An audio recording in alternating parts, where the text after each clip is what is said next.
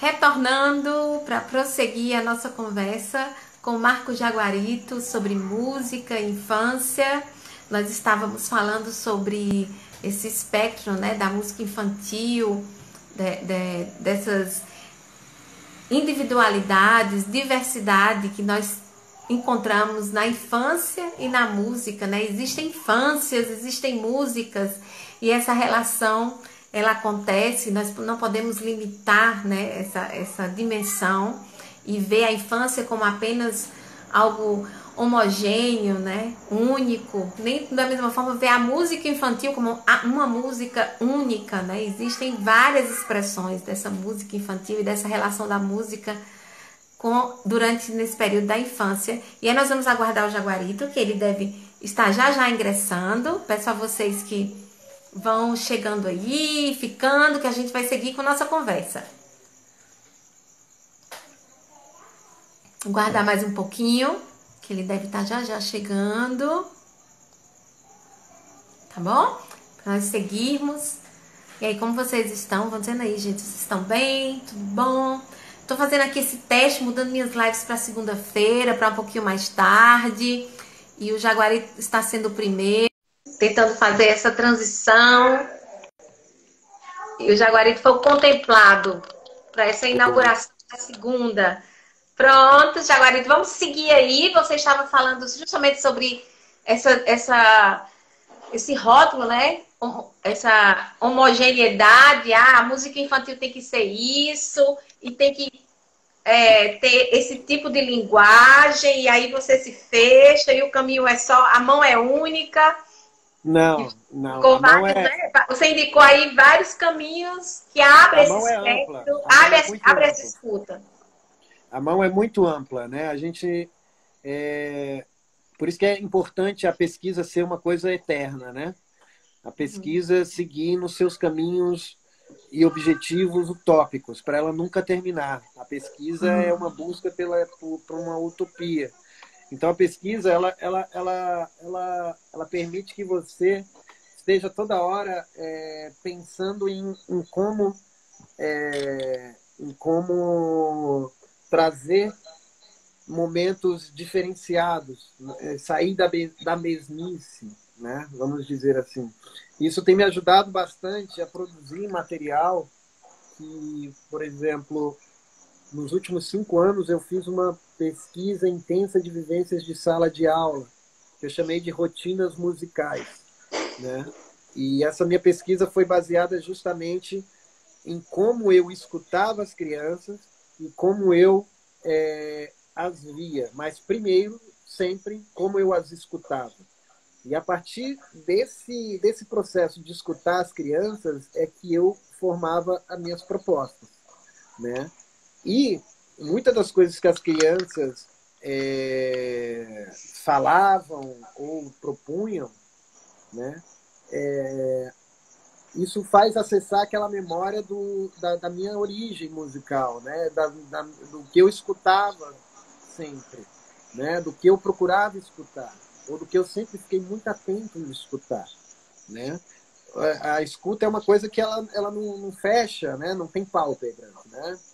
Alguém já disse isso, eu não estou lembrando quem, mas né, é, fechar os olhos é muito fácil, só fechar as pálpebras. Agora, fechar os ouvidos, você não vai conseguir. De jeito nenhum. Porque é. tem esse ouvidão aqui, ó. Olha o tamanho do ouvido que a gente tem, daqui até a ponta do pé. É. Ouvidão desse aqui. A escuta, a gente é uma corda ali em vibração, quase, é. né? Uma, uma tripa esticada. É. e e assim, esse ouvir os alunos, o que eles propõem é justamente é, o que significa a tal da música infantil para mim. Mas é, ela não se limita a só escutar as crianças, e sim escutar também os adultos quando eles estão em um momento leve, de brincadeira, ou num bom convívio social. Você escutar como as pessoas se expressam, como as pessoas reagem. Isso é muito, é muito interessante, para mim é muito prazeroso é, você poder se divertir com aquela escuta, né? De uma risada de uma pessoa e você se diverte com a risada da pessoa porque aquele som te faz bem. Ou ouvir uma pessoa contar uma história porque ela conta uma história de um jeito que te faz bem, que te faz sentir bem, te faz sentir interessado. Da onde vem isso? Afeto, né? Quando você trilha os afetos, né? Quando você tem afeto por alguma coisa, você vai ficar ali. Não tem jeito. Né? Como tem nove pessoas aqui que deram uma, que estão afetuosas com a gente, estão aqui com a gente. Isso é maravilhoso. E assim a gente é, caminha. Então eu produzi esse material de sala de aula, que eu chamei de rotinas musicais, vivendo nos sons, né? Vivendo no som ou rotinas musicais. E aí eu fiz isso um show. Aí tem lá, inclusive, no, falando de novas músicas, quem quiser procurar lá no meu YouTube, tem todas as músicas que eu fiz nesse show que foram músicas de processos de composição a partir da escuta de crianças e, de, e do meio que eu vivia, que eu vivo, do meio escolar, em casa também, né? É muito louco, assim, você ouvir, um, procura lá Palhaço Musical, Marco Antônio Jaguarito no YouTube. Você está você tá participando de um festival virtual, não é? Ainda Isso, estão do... abertas a, a, a, votação, né? O mini... É, a votação é até meu... amanhã. É o meu, meu, meu primeiro festival, né? É, do Marcelo Serralva. Eu tô com a uhum. música Gafo ou Gafanhoto. Que o Gafo Gafanhoto é uma música que ela tem um estímulo pro pular, né? Para o movimento do corpo mesmo, mas não é o pular pelo pular, mas é o pular em suas várias é, possibilidades, né? E pular como um gafanhoto, é, você imagina um gafanhoto, você está é quase que um sapo ali, ou coisa do tipo, né? Quando a pessoa vai tentar imitar um gafanhoto, ela quase que imita um sapo também do mesmo jeito, coloca no meio das pernas, duas mãos, assim, vai, faz o gafanhoto. Um dia eu vi um aluno assim, ó, e aí me parecia, não sei porque na cabeça veio um gafanhoto, aí ficou ouvindo essa frase, pula gafanhoto, pula gafanhoto. Então, nessa, e ele ficava fazendo um som muito louco, assim. Ele estava numa viagem ali, brincando de algum bicho, eu resolvi nem perguntar, só fiquei observando e escutando o comportamento dele. Foi, e aí veio esse pula gafanhoto. E o pula gafanhoto, ele pula de. A proposta dele é, é, é bem rítmica, assim, de se soltar, né? E, e ela está concorrendo nesse festival. Eu achei uma iniciativa muito incrível, muito, né? Cabeça, mete a cara tapa, como se diz, né? O Marcelo Serralva botou a cara tapa e vamos fazer esse negócio acontecer. E e esse repertório ele foi construído a partir dessa interação ou de memórias, né, minhas, que acabam convergendo com a memória de outras pessoas que elas vão se identificando. Né? É por isso que eu acredito que, a, que as músicas que falam sobre relacionamentos, amor, elas pegam a gente de um jeito que a gente se identifica com aquele momento, né? É, às vezes a gente tem uma história de amor e a gente tem uma trilha sonora dessa, dessa história uhum. de amor. E quando essa história de amor se acaba, isso, aquela trilha sonora não se acaba. Porque aquela, é, isso, isso música... tem a ver com a questão do afeto. Porque as afeições, né? Tem tanto as afeições de print, vamos dizer, de print que trabalha com a parte da satisfação, com a parte da alegria, né? Mas tem também os afetos que tra trabalham com o print da dor. E por isso que os afetos, nesses dois polos, nós devemos ter cuidado, né? O, o, quem está numa relação musical com o outro tem que entender que do mesmo jeito que pode haver o print bom, gostoso, saboroso, né? O que vai ficar nesse sentido de trazer boas recordações, de trazer uma experiência é, lúdica nesse sentido, mas tem o print também péssimo, que é o que vai deixar amargor, repulsa, é, né, distanciamento e é, a gente tem que olhar essas dimensões das afeições como um todo, né? Essa questão é, das é, afeições. É, isso, isso, isso que você fala está muito dentro do que eu acredito muito também, que é uma pesquisa está ficando mais cada vez mais evidente no, no, no, trabalho do Estevão, né? Que atualmente a gente acompanha bastante ele. E ele fala dos opostos complementares, né? Ele usa a uhum. questão do tibim, do timbum, como um exemplo de opostos complementares, que pode ser tem aí um, mil e uma possibilidades de ser o, alguma coisa, esse apóstolo complementares. E isso eu vejo como apóstolos complementares também, né? Esse momento lúdico, esse momento mais é, mais melancólico, vamos dizer assim, uhum. né? E isso é muito interessante você saber trabalhar também. Sabe que nisso uhum. eu trabalho a, a, a, tem uma música que eu trabalho com a localidade também. Eu gosto muito de, de trazer a localidade do, do, município, né, como uma coisa presente. E aqui tem o rio Itapucu, e aí eu falo Lá no rio Itapucu, eu vi um sapo meio jururu. Lá no rio Itapucu, eu vi um sapo meio jururu. Estava sozinho, tristinho, chorando, com saudades da dona Sapa. Nessas horas as crianças choram, elas ficam tristes, algumas me consolam porque eu faço uma dramatização. Eu então ofereci um suco de caju e ele fez cururu, wabi cururu, wabi cururu, wabi cururu, wabi cururu, wabi cururu, e aí ele sai feliz e superou aquela dor, entendeu? Então é, é você trabalhar essas variações também né? De uma forma, a, lógica, a, leve. A criança, ela tem emoções, ela, que precisam ser trabalhadas e acolhidas. É, outra, outra coisa que é muito estereotipada nessa relação música e infância é esse clima show da Xuxa o tempo todo. Exato, meu, isso é.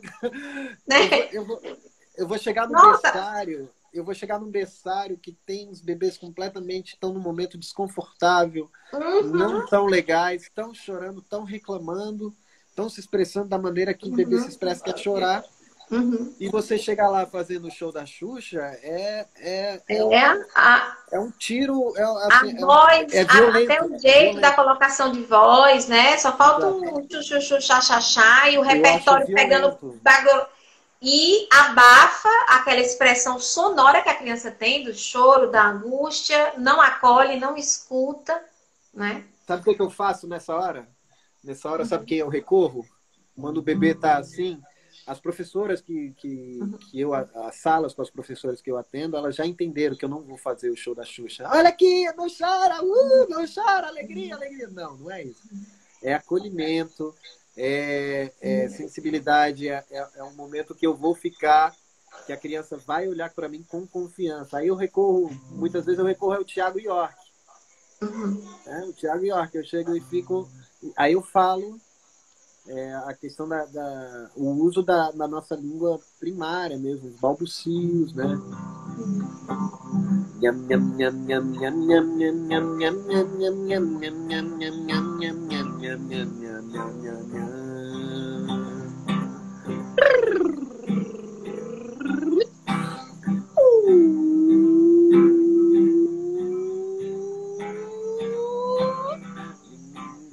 jeito que é, da cabeça ao pé, do jeitinho que for.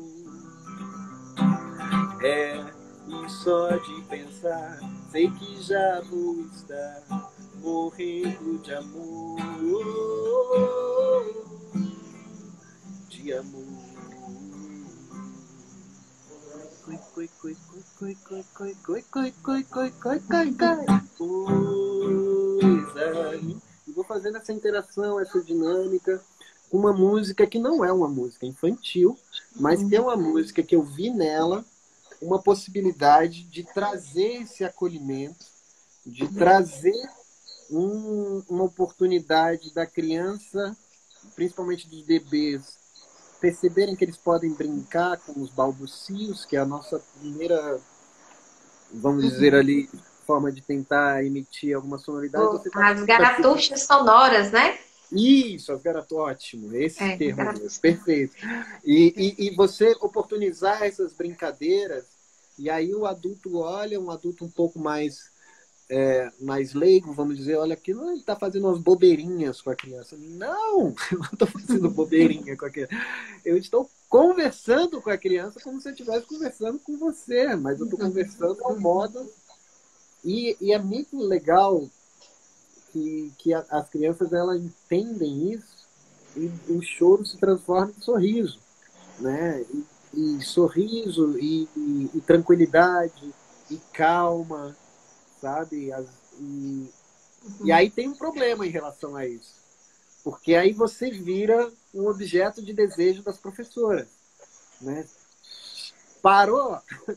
Tá uma bagunça? Chama o Marco, chama o Marco aqui para ele acalmar essas crianças. Para ele tocar um violão para essas crianças, sabe? E não é bem o objetivo acalmar a criança, né? Acalmar a criança é um processo para que eu possa alcançar os meus objetivos, que é dela brincar com essa percepção rítmica da, do balbucio, de ela trabalhar a lateralidade da escuta, enfim, de várias outras coisas, né? Então.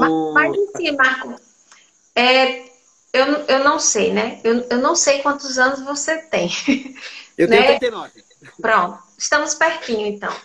É, eu, nos meus 41 anos, eu, eu tenho uma, um posicionamento muito tranquilo em relação a essa questão, como eu lhe falei no início, dos rótulos, do nome que é dado. Ah, é a professora que vai, que vai divertir. Ah, chama ali para ela deixar as crianças felizes. Eu tenho uma consciência muito grande do que eu faço e do que eu quero. Claro que eu não estou dizendo aqui que, a, que nós vamos, como classe, né, como estrutura, dentro de um organismo institucional, né? Eu, eu até um dia desse estava, estava contando aqui para um, não sei nem que contexto foi, eu estava contando que eu já trabalhei num, num, ambiente que nos chamavam de cigarras, nesse sentido pejorativo, né? Os professores de arte. Ah, lá vem as cigarras. Falavam assim conosco, só para você ter Não ideia. Não fazem nada da vida, só cantam. É, esse era o ímpeto do que elas estavam Ai, brincando. e é, aí nós, nós na época tentamos nos posicionar, né? E tudo, claro. Eu tinha um jeito de contar até aquela história diferente, eu contava a fábula toda diferente para poder não a, ajudar no reforço dessa ideia. Só que ao mesmo tempo, eu com os anos, eu fui serenando, sabe? Nossa, elas, se elas não estão tendo a, a dimensão que mesmo quando você vai a calma, tem um conhecimento profundo por trás, ela pode reduzir isso. Aí vem acalmar né? Sim. Parece algo simples, né? Mecânico, Sim. mas tem todo esse processo do encantamento que a sua esposa lembrou bem. Que só que esse, esse, processo de encantamento é uma ciência nesse sentido, né? Exato. Você não encanta alguém de forma aleatória. Você entende bem todas as porções, né? sabe bem manipular tudo que tem dentro daquele caldeirão que encanta. É uma alquimia, né? É uma alquimia. É, uma, é, é uma ciência nesse sentido. É um, você sabe o que você deve colocar, o que você deve tirar. Então, quanto a isso, às vezes eu vejo muito. Assim, eu estou falando isso aqui para quem está ouvindo, se quem vai ouvir isso depois, não sei. Mas só para a gente também se tranquilizar mais. Eu vejo que tem muito essa preocupação. Ah, eu não faço recreação. Eu sou educadora musical.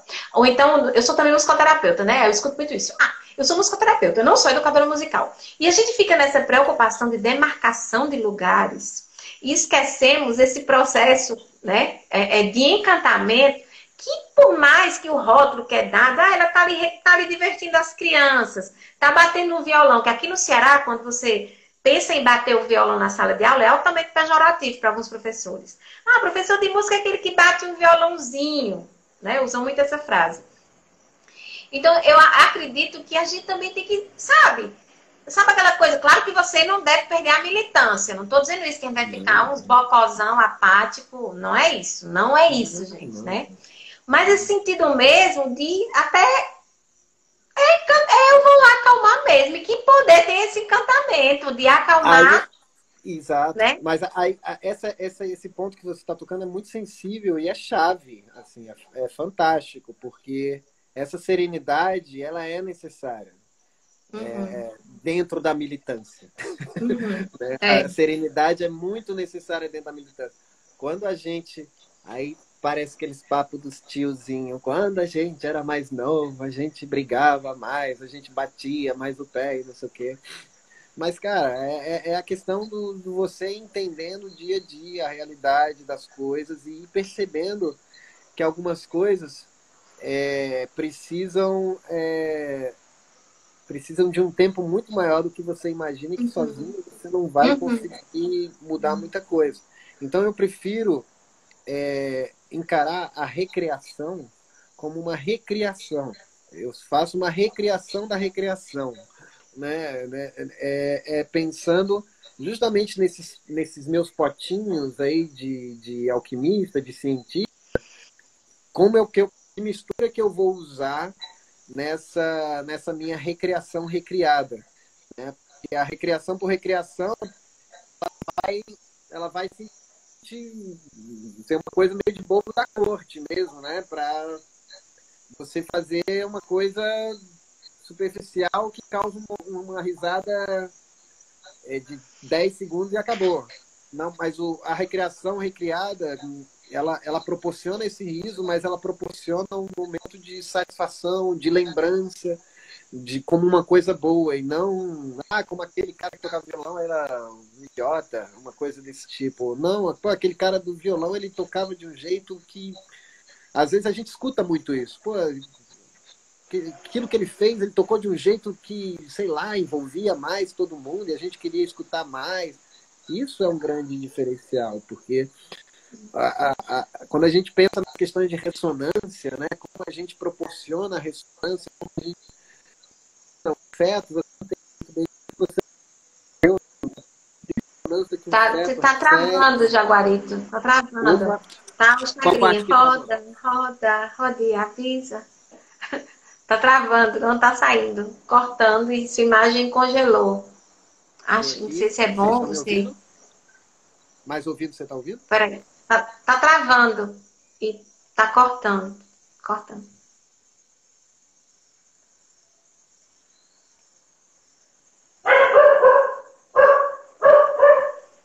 Tá... Voltei? Voltou agora. Acho que agora voltou. Voltei? Agora voltei. é, a gente, a gente é, como eu estava falando ali, a gente pensar na, na maneira como você expressa seu som, ele vai estar sempre é, sendo envolvido com, com esse compromisso desse, dessa sua dessa sua ciência, né, que você que a gente estuda tanto ela, ela, ela, naturalmente fica impregnada na tua maneira de tocar. Se eu for tocar num palco, por exemplo, eu vou colocar essa essência também adequada para um palco. Né? Isso vai influenciar diretamente na maneira como eu me expresso com aquela música. E isso a gente faz com as crianças, porque as crianças veem em mim talvez um escape para poder se expressar de uma maneira que elas não têm tanta oportunidade assim de se expressar, de extravasar mais sem ser reprimida ou do tipo uhum. mostrar uma língua sem ser reprimida, porque mostrar a língua hum, no mundo que vivemos hoje é uma coisa obscena, né? Imagina a criança mostrando a língua. Aí você faz uma música.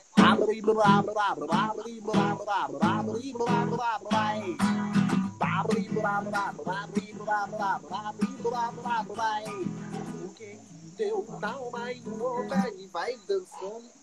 Eu fiz essa música justamente para mexer com as questões da língua. Cadê a língua? Né? Aí você vê um monte de criança na sala, as professoras ficam com a mão na boca, assustadas, as primeiras vezes que viram essa música, depois soltaram. Porque as crianças estão assim, tentando achar o movimento da língua, né? fazendo.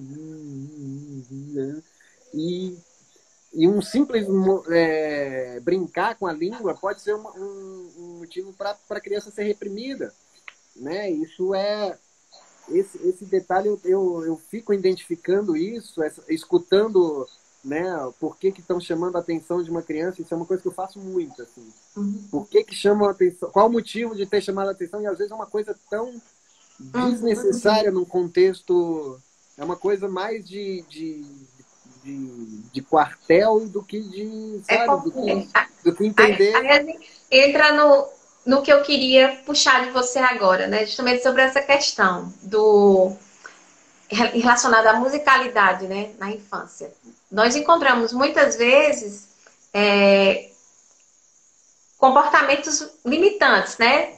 Os espaços, no, no caso a escola, viram um espaço de controle, de barreiras, né? Limites, de marcos, né? Nós vivemos muita música, mas porque vai atingir o marco. Ai, qual é o papel da música? Assim, mais uma vez, queridos e queridas que estão ouvindo ou que ouvirão, né? Eu tenho verdadeira, assim, arrupios quando eu vejo essa música com um propósito de se criar, né? Essa coisa do, do desse ser que vai atingir um, um estágio, né? No, nas outras disciplinas, na vida, né? Essa música buscando esses marcos, né? Essa coisa evolutiva nesse sentido do desenvolvimento evolutivo, de se atingir, de se acumular.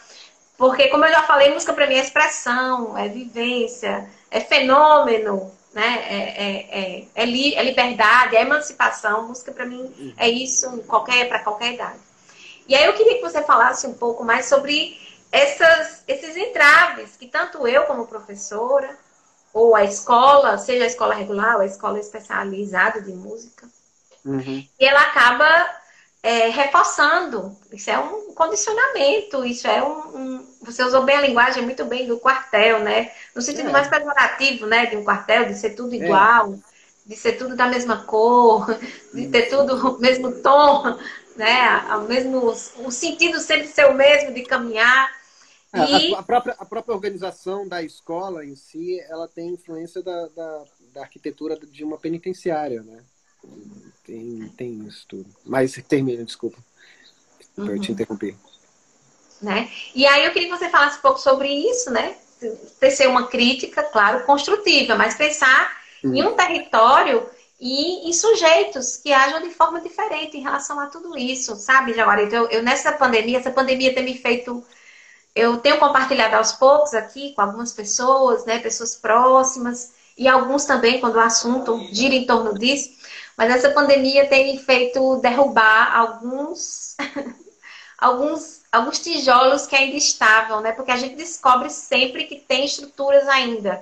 Quando a gente se olha, faz um, um olhar interior, interiorizando, você percebe, não, peraí, tem um pilar ainda daquilo.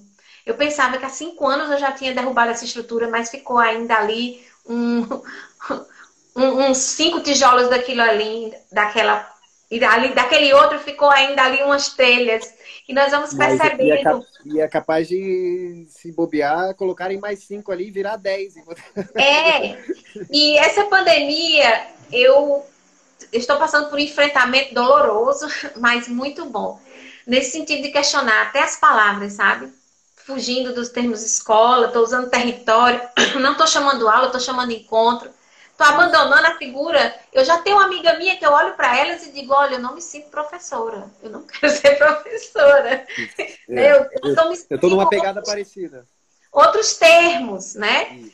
E tô tentando até estruturar essa coisa do. Que tem a ver até com rede social, né? Porque as pessoas chegam na rede social e querem saber mais ou menos quem você é, né? Aí tenho tentado testar palavras e tudo, mas pensando nisso tudo. Que a figura Gente, estou falando aqui da forma pejorativa, tá? Eu não estou aqui desconstruindo é, esse ser, né, figura do professor. Entenda, estou falando dessa dimensão mais estereotipada, caricata, limitante. O, né? Pensem nisso, que a gente tem que tomar cuidado, né? Com tudo que a gente fala, não, não sim, quero ofender, não quero aqui derrubar o trabalho de ninguém. Isso é uma, um percurso meu muito pessoal, né?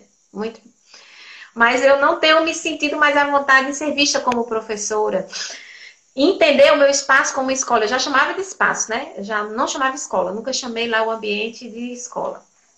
Né? E aí já estou adotando é território, nesse sentido mesmo, território e encontro e tentando achar outros termos que flexibilizem mais ainda, que ampliem mais ainda a experiência e, e faça tudo isso não ser tão limitante. Então, eu queria que você falasse um pouco sobre isso, sobre essa questão dessas limitações, esses, essas demarcações e como, né, como nós podemos estar integrados a, nesse processo, porque a gente está, nós estamos na escola, né? Você trabalha. A, por mais que a escola tenha uma inovação e tudo, mas a gente sabe que existem estruturas muito fortes ainda nesses espaços. Então, como, como a gente pode também habitar nesse espaço de forma é, colaborativa com ele, né, colaborativa, porque nós estamos lá para colaborar. A escola tem um projeto, a escola tem uma história, a equipe está envolvida nisso, os pais, né? Mas como também a gente tirar esses tijolinhos, né? E tentando tirar, tentando contribuir para essa inovação chegar de verdade, para a mudança chegar de verdade, para um novo tempo diferente chegar de verdade. É, é muito amplo isso e muito, muito importante a gente. Vamos perceber. Oh, não, a gente tem tempo. A gente tem tempo. Tá. Eu, eu, prometo que é a última, Jaguari, tá? Eu tenho não, aí. Eu, esposa já deve estar. Ah, não, ela, tá, ela acabou de escrever uma declaração de amor para você aqui, ó. Estou encantada com você também, Karine. Foi o que ela acabou oh, de. Um beijo, querida. tá tudo certo. Obrigada aí por ceder, viu? Esse negócio de live é dureza, né? Nada. Mas aqui, ó, é... isso que você está falando é, é muito denso e eu fico muito feliz porque nós dois é, Karine e Marco, temos assunto pra caramba pra falar, hein? Imagina se a gente se encontra pessoalmente, a gente vai passar 30 dias. Vocês né? vêm pra Fortaleza, rapaz, um né? dia. A minha do meio, viu? É a Tudo bom com você? Vem um dia pra Fortaleza. Tem que matar viu? saudade, né? Tem lugar pra armar rede, se sintam à vontade, pode vir, viu? Maravilhoso. Pode vir a trupe todinha. E, assim, a gente, a gente fica é, muito feliz em poder contribuir com esse debate também, né? Porque é um debate muito profundo, muito pertinente, que levaria aí um ano inteiro de lives para poder conseguir desconstruir um tijolinho, né? Porque é, é, é uma coisa que sofre muitas influências, né? E tem um comentário aqui que eu guardei que fizeram, que é aí quando a escola pede avaliação das crianças na linguagem musical. Isso tem a ver com, essa, com essas estruturas que, que, que ainda insistem né, em, em permanecer como sendo algo protocolar. Não é uma coisa contra avaliação.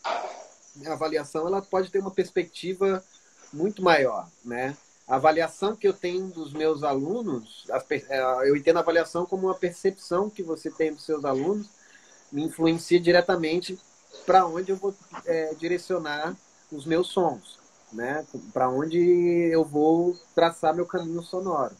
Sempre pensando nisso, nessa, nesse olhar avaliativo, mas não como uma coisa burocrática protocolar, né? E, e isso é uma coisa que acontece se a instituição pede, é, vai lá e faça dentro do seu critério. Tem vários exemplos né, de, de de, de, de professores que dão 10, ah, 10 para todo mundo, 9 para todo mundo. E isso, de certo modo, pode banalizar, mas é uma maneira de você também, em paralelo, deixar claro qual é o seu, seu entendimento sobre uma avaliação. E é a partir daí, sem embate, sem confronto, mas com debate, você se posicionar né, diante da instituição que você está. É, porque existe também uma condição que a, a, gente precisa ter, que é de estar empregado, o mínimo possível. Então, muitas vezes você está num lugar por um, que você sabe que é temporário, que você precisa estar lá, né?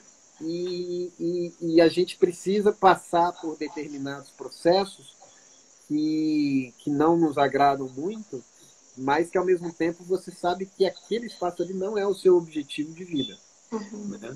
Porque eu tenho os meus objetivos, eu sei um pouco para onde eu quero direcionar todo esse aperfeiçoamento que eu estou fazendo no meu trabalho. Porque, em paralelo a essas, essas questões institucionais pré-estabelecidas, principalmente das grandes redes de educação, né? a gente pode citar vários nomes, grupos gigantescos de redes de educação que várias escolas, é tipo o ISO, né, da, da, da educação infantil. Uhum. Eu tenho certificado do, não uhum. vou falar as marcas aqui, né, certificado de não sei quem, certificado de não sei quem. eu, eu trabalhei um tempo em uma que tinha certificado é. de um monte de coisa e tinha um selo Sim. lá que ela carregava, né, de um, é... Tem até tem até do como é Lego, é? tem. O Lego eu posso falar. Tem é, até do Lego. né? Mas como é que chama? Franquia, porque parece uma franquia, né? É, um, é uma coisa tão mercadológica que tem até franquia. Sim. É. E, e, e assim, mas ao mesmo tempo, eu tenho um exemplo de escolas que pegam esse material dessas certificações e fazem uma coisa boa, sabe? Consistente, assim, vamos aproveitar, ah, tem essa ideia aqui, vamos, sabe, ultrapassa a única ideia que o livro quer dar. Eles experimentam além do livro, né? Isso é muito legal. Mas tem outras escolas que ficam no livro e deu, entendeu? Então, isso você tem que ter uma realidade, é, é uma realidade que você tem que manter um constante debate para é, conseguir colocar o que você pensa e qual é o seu objetivo, né? Pensando na música não como uma recreação e deixar claro para que, que você está naquilo, por que, que você está nessa área, né? Se você não sabe o porquê que você está na área, então é hora de dar uma pausa, respirar e pensar o que, que eu estou fazendo, né? Trabalhando nessa área. É a mesma coisa que eu agora me meter a dizer que eu posso fazer atendimento de musicoterapia, né? Opa, pera lá, não dá, eu não tenho certificação, eu não tenho uma formação, eu não tenho uma, uma expertise, não é um assunto que eu domino, é uma, é uma referência que eu tenho na, na minha prateleira, que eu leio publicações, leio livros, mas isso não é o suficiente para me dizer que eu sou um musicoterapeuta, né? É, eu falo isso porque é, é, é às vezes a, a, a, eu sou procurado por famílias por conta de casos né, de, de crianças com, com algumas condições que cabe mais ao musicoterapeuta do que um educador musical. E muitas vezes eu indico o, o musicoterapeuta, oh, não, fala com esse cara aqui, porque esse cara aqui ele vai te ajudar melhor que eu. Então, eu sei qual é, até onde eu posso chegar, o que, que eu quero passar, né? Tudo isso que a gente está falando aqui, né? E o quanto isso ressoa nas crianças. E você está no espaço é para você debater. Agora, se não, se não converge, se, infelizmente a gente tem que procurar outro lugar. Né? Até ir pelo menos num lugar minimamente digno, em que você consiga sobreviver. Mas sempre com objetivo. Agora, se você está com. Se você tem um objetivo, você está na escola que você tanto queria, você tem o objetivo de criar a sua vida musical, não carreira, é vida, mesmo, a sua vida transformar aquele espaço na sua vida, né, vai fundo. Mas existe, é, existe as delimitações, né, que são impostas não de uma maneira é, pejorativa, porque é imposto mesmo que a instituição trabalha desse jeito e você tem que seguir modos uhum. operantes da instituição. Questão, é tudo... Entra a questão da ética também, né? É... Como alguém que estou ligado né? Exato. E se você e se realmente você está na escola que você sempre sonhou, vai fundo, mas transforma ela. Uhum. Transforma. Né? Uhum. Transforma ela. Mas eu sempre penso assim, independente se, eu, se é uma, uma escola que eu estou de passagem, uma escola que eu quero ficar mais tempo, eu vou sempre procurar transformar ela da melhor maneira possível. Mas quando eu percebo que eu nunca vou ter uma sala, né? Sala de música, né? Que é uma coisa que a gente sofre aqui, pelo menos, é uma realidade daqui. Eu fico, eu fico pingando de sala em sala. Isso é horrível, né? Eu não tenho uma sala que é uma sala. Lembra daquele papo do Piaget de a, o você é a, é a, a, maneira como você interage com o meio, né? É, são as duas coisas. Então, se eu não tenho uma sala de música, um ambiente que eu consiga proporcionar uma coisa mais transformadora, uma coisa que, que vai afetar diretamente a, a, a, as potências cognitivas da criança com, em relação à memória e as lembranças que ela vai ter daquele ambiente, né? vai criar um afeto para aquilo. E por eu conseguir conduzir é, aquele ambiente de uma maneira como eu quero, né? do tipo, eu estou dando aula Tô lá, dando aula, daqui a pouco abro a porta. Ô, eu vi um negócio aqui em cima da mesa. Sabe? Tô ali no meio de uma vivência. Às vezes eu tô numa vivência super tranquila, assim. Daqui a pouco alguém abre a porta. Pro, pega aquele papel ali pra mim. Sabe? Meu. Mas eu não tô na minha sala, né? Às vezes eu chego lá eu fico quase 5, 10 minutos arrumando o espaço para eu poder, enfim, comportar algumas, algum, algumas professoras já entendem que eu vou chegar e já deixam um pouco a sala pré-preparada, mas nem sempre é assim. Isso tudo influencia na maneira como você desenvolve. Várias vezes eu tive que pedir, por favor, poxa, não converse no meio da aula de música aqui, não, eu não estou tocando violão para elas, eu estou como vocês gostam de chamar, eu estou dando aula. né? Se é para deixar claro, nesse quesito, eu acho que eu estou dando aula é uma maneira de você se impor também. Né? Mas eu sou totalmente a favor da linguagem de territórios, de vivências, de encontros, né? Então, é, é, é um se impor ao ponto de que você perceba se aquilo está realmente incomodando ou não. Se aquilo realmente está te incomodando, acho que está na hora de repensar se você deve continuar naquele espaço, né? Porque é horrível você estar tá num espaço onde você não se sente bem, né? E que você não se sente à vontade em, em trabalhar suas execuções. Você acaba não executando direito, você não acaba não fazendo o negócio direito e, e fica com ressentimentos. Isso não é bom, não é produtivo. Então é sempre interessante a gente estar tá em busca de espaço se você não encontrou um espaço, cria o seu espaço. Né? Faça um movimento. Né? Faça esse movimento que você tanto, onde você quer estar. Né? O que ambiente você precisa para alcançar os seus objetivos? Né? Isso é uhum. muito. Essa, essa é uma pergunta que a gente tem que estar sempre toda hora se reformulando. E e, e, quando a gente contribui para que, essa, que essas instituições enxerguem para as aulas de música com uma profundidade maior e não como uma disciplina de fachada ou algo do tipo, ou olha, ele é um professor que ele apareceu no meu pequeno festival, então eu quero contratar ele, sabe? Ah, o meu professor é aquele que participou do meu pequeno festival, vamos contratar. Aí, aí serve como mais um marketing, assim também não é muito interessante, né? é, é ver o profissional como um profissional e não como um, um banner, né? E, e, e, isso tudo você tem que perceber, né? Até que ponto você se sujeita a isso, né? Porque tem coisa que, cara, me desculpa, é melhor manter a serenidade porque realmente ali você não vai conseguir mudar. Talvez em outro lugar, mas naquele lugar ali você vai se mudar. E é muito complexo, né? Porque cada lugar trata a, a educação de uma maneira muito diferenciada. Por mais que sigam as normas da, da, das redes, do, das certificações, mas as professoras também elas têm é, uma vida e muitas vezes elas estão ali ao mesmo tempo precisando é, ficar com as crianças, mas elas precisam escrever na agenda, precisam arrumar mochila, precisam é, fazer da vários medicação. paralelos.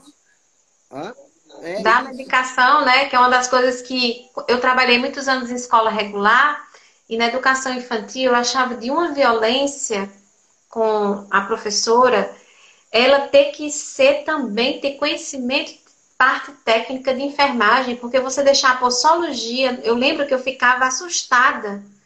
A, possologia de o nome do aluno, todas as medicações, e às vezes, quando eu tinha espaço de conversar com as mesmas, né? Conscientizar elas dessa violência que faziam com elas, né? Existe, existe esse abuso. Assim. E, e é, você, e, e o, o, trato com as crianças fica um pouco, pouco violento também, no sentido de de, de não ter um, um, um afeto, né? Um, uma atenção maior de como você está pegando na criança, de como você está falando com a criança. O simples falar vertical, de cima para baixo, já faz uma diferença danada do que no horizontal, um olho no olho. Né? Esse tipo de coisa acaba se perdendo por conta dessas multitarefas e viram um, uma empresa. Né? Existem até publicações né, de que escola não é empresa. Sim, a escola é uma empresa, sim, mas no sentido de, tra de tratar a escola somente como uma empresa, né? onde professoras e, e profissionais ali dentro ficam se disputando para ver quem ganha mais destaque. É uma viagem, né? Uhum. Enquanto isso, as crianças ficam à mercê dessa loucura, uhum. né? desse entrega bonito agora com as redes sociais existe uma exigência maior de expor a, as condições da escola, de expor as atividades, então isso fica mais exigente ainda, uhum. né? E, e, e, se fazem publicações que não, não são satisfatórias, causa todo um rebuliço emocional, né? E todo esse tipo de coisa acaba influenciando diretamente em quem? Nas crianças, né? Na maneira, no dia a dia com as crianças. Então, às vezes, a aula de música, eu em algumas escolas que eu trabalhei, eu entendia que a aula de música era só um refúgio para as crianças ficarem um pouco afastadas desse estresse institucional todo. É um oásis, né? É, Dependendo da abordagem do, de quem esteja com as crianças, se torna um oásis. Né? É, é, é o matar a sede mesmo, né? Onde as crianças matavam a sua sede. E eu, e eu tinha tanta consciência disso que eu não me frustrava com isso. Porque, uhum. obviamente, esse não era o meu objetivo, de ser um refúgio para as crianças. Não é esse o meu objetivo. Né? É, mas, ao mesmo tempo, eu estava ciente que naquele momento que eu estava naquele espaço, eu era uma pessoa que tinha essa função. E eu me dedicava tanto àquilo, ao ponto de já ser chamado muitas vezes de pai, né? Ou ao mesmo tempo de ser chamado, de, de falarem para mim, ah, você é melhor que meu pai. Eu já ouvi isso, isso é muito, muito, muito forte, sabe? Eu, eu falo hoje isso com mais tranquilidade porque eu já superei isso, né? Porque é muito forte. Você ouvir esse tipo de coisa te, te dá um, um peso muito forte. E a, a, criança fica pro pai, pai, pai, pai, pai, pro, não sabe falar pro pai, assim. Né? Eu já passei por, um, por uma coisa muito engraçada também, porque a criança se sente tão à vontade que na, na, nas vivências que eu tenho com famílias, eu estava fazendo uma vivência na casa da família, só estava eu, a criança e a mãe, né? E a criança me chamou de pai, porque ela estava tão à vontade, ela estava tão à vontade com aquilo, ela estava brincando tanto, ela estava entrando, pulando que nem gafanhoto, mostrando a língua, brincando com os sons dela ela estava tão à vontade que isso lembrou uma figura que ela se sente à vontade, que é o pai, ou, ou não sei também, sei lá, para pensar muita coisa. Mas ela se sentiu tão à vontade ao ponto de me chamar de pai na frente da mãe, nem sem perceber isso. A mãe é uma amiga querida, ela olhou, começou a rir assim, e ela entendeu realmente que a, que a filha dela estava se sentindo muito à vontade com aquele momento, que aquele momento estava sendo rico para ela, né? E é. claro que é na casa, eu tenho objetivos e tal, mas acontece isso. E a mesma coisa você identificar. Eu estou nessa instituição por quê? Porque eu preciso disso, disso e disso. É o seu objetivo de vida ficar aqui para sempre? Não. Você sabe como você é usado aqui de uma forma digna ao ponto de não deturpar completamente o seu trabalho? Consigo. Você consegue achar brechas para transformar? Consigo né? E, e você vai achar, ó, eu achei uma brechinha aqui que eu posso incluir. Uma brechinha esses eventos, né? Que eu transformo apresentações em uma grande brincadeira, né? As minhas apresentações são uma grande brincadeira. Todo mundo se apresenta. Isso já é um grande diferencial, porque a, não, eles não esperam por isso. Quando a gente convida, vem, senta aqui com a gente, vem com as crianças as famílias ficam se olhando, como assim a gente vem? É, vocês, sai daí dessa cadeira, levanta, vamos, vem, sabe? E, e, isso mexe muito, né? Pelo menos você vai sair daquele lugar e eles vão lembrar, pô, com aquele professor lá, a gente fazia umas coisas bem, bem intensas e aquele professor proporcionou momentos que eu e minha família a gente não esquece até hoje. Né? Olha, é, né? é, é, uma fotografia, né? Eu considero isso como se fosse aquela fotografia que você é, tem no é seu álbum. É o print, né? É o print do afeto, né? O print isso, do afeto. Exatamente. Printou o afeto. E, isso para mim é muito é, é, muito bonito porque eu me sinto útil, né? A gente vive perguntando como se sentir útil. Isso é uma maneira de se sentir útil, né? De você proporcionar esse tipo de, de momento é de uma utilidade que não, sabe, que é essencial para formar uma sociedade. Sociedade sem música não existe, sabe? Não existe. Nós somos feitos de sons. Por isso, vivamos nos sons. Ótimos! Marcos Jaguarito, que alegria! Muito boa nossa conversa. Obrigado. Com certeza duraria muito mais, né? Muito mais. Sim, as, as, rodas, né? O Instagram devia virar uma roda, criar em vez de live uma roda de conversa. E sabe, se a gente conseguisse colocar mais pessoas aqui até para estarem contribuindo, ia ser bom demais. Tá Mas eu não quero tá explorar mais você. Eu exagerei já não, nessa exploração. Eu, eu, eu, te, eu te digo o seguinte: caso a gente se encontre de novo virtual pessoalmente, Pode ficar tranquila que se deixar eu falar, eu falo, mas não, diz, falo mais convite, que o olho vou falando. Vou o convite está feito, viu? Se quiser vir com a Thaís, a filharada aqui para Fortaleza, Opa. tem tanto aqui para Marrede. viu? Embora. A casa está aberta para a gente quiser é, né, revisitar Fortaleza, você. Eu agradeço demais, Jaguarito. É, é assim, para finalizar, eu queria só dizer uma coisa que eu percebo muito, né? Eu não sei se é porque eu sou dessa área também, que eu me vejo como cuidado, né? A música como cuidado. Faz tempo que eu vejo a música como cuidado. Sim. Eu já buscava isso na educação. A grande verdade é essa, né? Educação para mim é cuidado também. É puro cuidado. É puro cuidar, né? Tanto o autocuidado, como cuidar do outro, como ser comunidade, né? Educação para mim já tinha essa, essa coisa. Aí depois na musicoterapia veio um, um, um assumir, né? E não ter mais medo. Só que eu continuo acreditando que a educação é espaço de cuidado. E mais uma vez aqui, eu acho que está na hora do professor, tutor, o nome que quiser ser dado, educador musical, né? Que ele se perceba como alguém que cuida, né? Que é um espaço Sim. de cuidado. A escola é um espaço de cuidado. A escola é uma comunidade, né? É um lugar de relações, de entendimentos, de, de trocas, de interações, né? De aproximações. E nesses três meses a gente tem visto, né? Como faz falta o cuidado, o cuidado, estar com o outro, se preocupar com o outro, olhar o outro, sentir o outro, né? Isso. E por, isso que eu acho que tem focado essas lives aí à torta e à direita, porque a gente quer se encontrar, a gente quer continuar se cuidando, interagindo, se ouvindo, falando, uhum. sendo ouvido, ouvir o outro. Por isso que eu fiquei muito tranquila. Eu vi muita gente com querendo criar neuroses com isso. Eu digo, que é isso, meu povo? O ser humano é assim, ele é expressivo né? Sim. Deixa o povo se expressar. A gente, tem, a gente tem essa necessidade, né? E, é.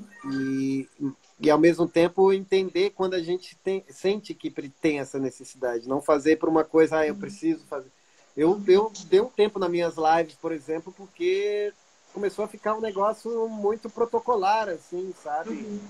E juntando as coisas aqui de casa, porque as minhas lives era pegava as crianças e tocar lá. Uhum. Aí agora eu, né, começou, foi umas duas semanas assim, aí eu comecei a dar uma desacelerada. Uhum. Aí estou aproveitando mais alguns momentos. Estou uhum. aproveitando essa minha introspecção no violão, né? uhum. Pensando na, nas, nas coisas que, que, que eu consegui me aproximar. Eu, eu não falei aqui, mas eu consegui um contato muito bonito e muito muito muito emocionante assim com o Irakuma, né, que ele me convidou para ser o formador é, do Música em Movimento em Santa Catarina. Oh, Isso demonstra uma confiança, assim, de, da pessoa entender, de ter esse mesmo olhar que você teve meu, né? De ver é, ali que está realmente acontecendo uma coisa, né? Que não, não Você tá sabia sendo... que eu ia ser a do Nordeste, né? Mas não eu não dou, eu não dei conta. É. Logo quando a gente né, se encontrou pessoalmente, porque eu tinha esse encontro com o Irá virtual e depois quis, quis trazer ele para cá, né? Ele já veio para cá três vezes. Sim. E ele tinha essa fala: olha, eu quero se for você, a do Nordeste é você. Só que eu tenho três filhas. Na época eu já, já estava a minha terceira. Sim. E eu fui muito franca com ele. Eu digo: ó, oh, Irá, música em movimento é uma coisa muito séria. A pessoa tem que estar entregue, total. Eu, eu tô grávida, eu não vou poder aí fazer a formação, né, e tudo. É. Mas virar é alguém muito importante para mim também, assim. É, é, é, uma voz, é uma voz necessária, né? Que que está juntando gente. É um olhar é, também transformador. É, né? É, e, é uma comunidade, e, né? Ele, ele tem conseguido ele... criar aqui no Brasil. Moço, eu acho que a gente meio nem, nem sem se conhecer, mas quem de alguma forma integra algum núcleo do MM você é comunidade, eu percebo isso. Eu tiro isso. pelo Wagner, o Rodrigo, o Samerson, você. A, é, é uma comunidade que ela tem uma sintonia. Né? Ela tem uma sintonia. Os que são constantes, né? Porque, claro, tem aqueles Exato. que vão para uma formação e acham que né, não se identificam, acontece. Mas os que se identificam com a filosofia, a forma de pensar do Irá, Virou uma comunidade mesmo, eu vejo dessa forma. Virou. E mesmo. A gente mesmo... Junto, eu, sinto, eu sinto essa boniteza. Eu Sim. tenho isso. Eu converso com os meninos, a gente nunca se viu na vida, mas tem essa boniteza, essa coisa da comunidade. E é, é, é, é uma coisa comunidade que aceita os vizinhos também, porque por mais que existam linhas diferenciadas no processo do musicalizar, né, diversas linhas, diversos pensamentos, essas comunidades se cruzam e conversam, uhum. né? Essas, é, é, conversam ao, ao, ponto, por exemplo, de proporcionar aqueles ciclos lá que, infelizmente, uhum. o... Ai, como é o nome infância, do ciclo? Né? Qual é o nome do ciclo? Ciclo pela infância, alguma coisa. Não, mas tem um nomezinho, tem um nomezinho que ele coloca que é porque justamente é esse diálogo. Com... É, esqueci agora. Vertentes. Vertentes. Isso, vertentes. Vertentes, ele usa esse Isso termo. Exatamente. Que é para justamente. E são, são linhas diferenciadas que abrem, abrem mais o leque, né? que, que proporcionam mais pessoas chegarem juntos, de, de uma comunidade virar uma cidade, né? E, e, uhum. e, assim vai. Daqui a pouco a gente vira um país, e daqui a pouco a gente vira um planeta, uhum. né? E por aí vai. É, é esse, esse esse sentido que é, é, magnetizante, né? Magnetiza as pessoas se atraindo, isso é fantástico. Então a gente tem que aproveitar esse momento. Né? A pandemia deu uma desestruturada nisso, sim. O Irá, por exemplo, tinha projetos com a gente. Uhum. Eu mesmo assumindo o negócio, sabendo a importância, eu tive um, um certo, um, um, certo não, tive um apoio integral aqui da, da família, da compreensão de, dessa parte de ser um cara que pertence ao grupo do Irá e em alguns momentos eu tenho que fazer deslocamentos não convencionais, uhum. né? Tipo, pega o carro e vai para Curitiba, tá, como eu fiz, ou pega o carro e vai para Londrina. Mas é um privilégio, né? É um grande privilégio integrar essa equipe. Então existe, existe, uma, existe toda uma colaboração, colaboração também que, que permite que a gente continue vivendo nos sons, né? De, de, uhum. Das diversas maneiras, né? É isso. Olha, se deixar, a gente vai continuar falando. Melhor encerrar. Bora encerrar esse negócio.